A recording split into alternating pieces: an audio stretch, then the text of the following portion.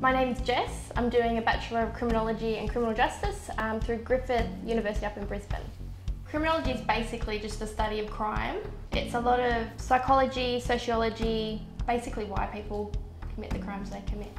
It's interesting to sort of see the journey, whether um, it started when they were a child, um, whether something happened in their life. Some of the things people do are incredibly bizarre.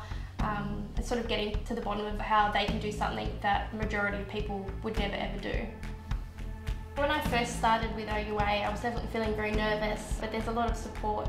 Um, I had somebody call me this first study period and just basically ask how I was doing, um, how study was going, how I felt. Um, they were really down to earth and honest and it sort of made me aware of all the different sorts of um, support that they had available. I need to be able to work while studying at the moment and um, I find it's really easy to fit in uni study, like waiting for the bus on my lunch break, that sort of thing. I can do anywhere between 30 minutes of uni work to five hours if I felt like it. It's, it's really flexible and easy. I've got a little bunny, she's a Netherland dwarf. Um, she does chew on my, my pens and my pencils. Um, and then Levi, he's a little staffy, three years old. He's not eating any of my homework